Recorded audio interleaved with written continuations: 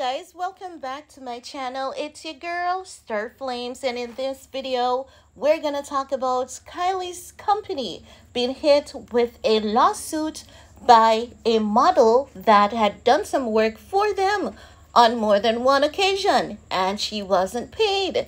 Miss sasha palma or palma sorry is saying it's time to pay up and as such she has filed a lawsuit for you know damages to be covered. Because you know with the state of california whenever 30 days for some company you have to wait until 30 days to get your check.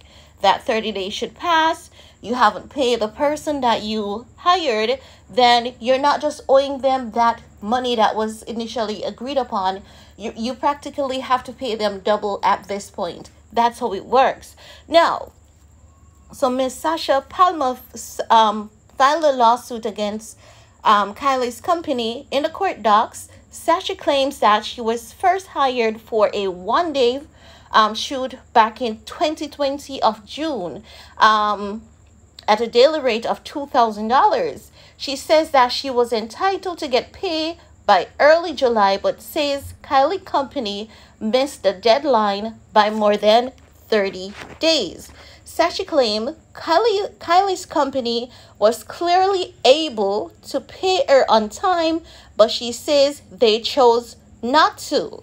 And she says that she says that means they now owe her penalties totaling sixty thousand dollars. You go, girl. Get that money, sis. Now, um, I don't know how this lawsuit is going to turn out because we know that with Kris Jenner and Lou Taylor.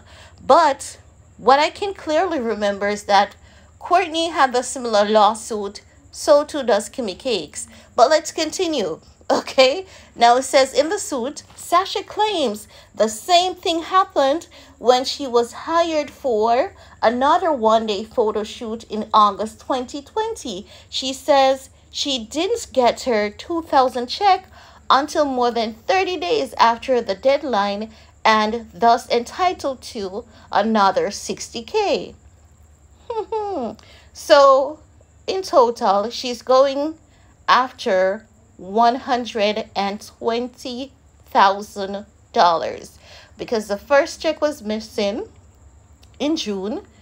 Sorry, in July. She went back to work in August seems as though Miss Sasha is a bright girl, you know, because seems as though she's saying, okay, you guys missed my paycheck, but you're calling me back to work. Okay, let's sweeten this lawsuit and make it really juicy. So we don't know what's going to happen, but you guys can bet your ass. Once there's an update available on this, I'll come back and provide you guys with an update. But damn it, man, these celebrities, they just have a bad reputation to not pay people and it's not good because these people are of money. And these people that they're hiring to get this work um this work done to promote their product their products do sell. Why not pay them? And you know i understand that oftentimes the people that they hire in their accounts department payroll team might be slacking but i think that we've seen this